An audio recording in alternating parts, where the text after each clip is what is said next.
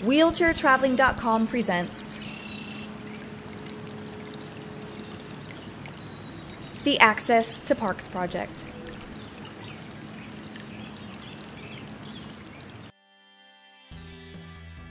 Do you love the outdoors, but feel there is a lack of accessibility information about parks and trails?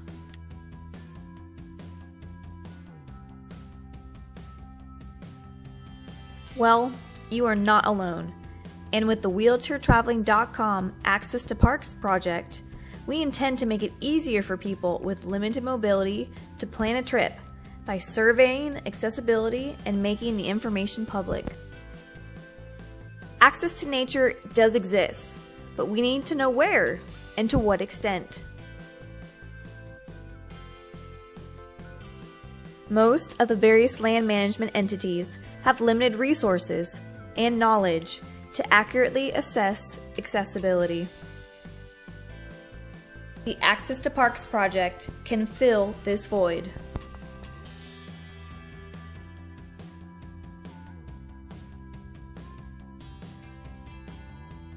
The Access to Parks project will provide detailed access information at parks around the country. The parks chosen were specifically selected because they have the highest access and visiting quality potential with the least amount of information available.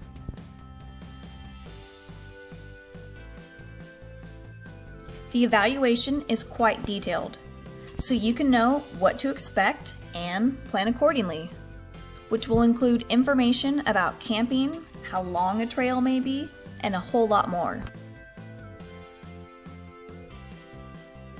We will also reach out to park officials in order to train employees on what to look for to keep their website up to date with the need to know info so that all future generations can enjoy the park.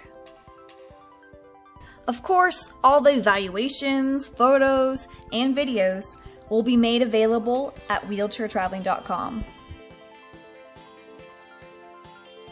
So people who are aging, use wheelchairs, or have any kind of physical handicap or disability will benefit from the Access to Parks project. You know your physical limitations better than anyone and how far you can stretch them. We want to give you the tools you need to see more parks. Donations of any kind to the Access to Parks project are tax deductible and will allow us to get to these parks and evaluate them. In every walk with nature, one receives far more than he seeks. The outdoors inspires and grounds us. Please donate to the wheelchairtraveling.com Access to Parks project. Let's explore the outdoors. This is what the Access to Parks project is all about.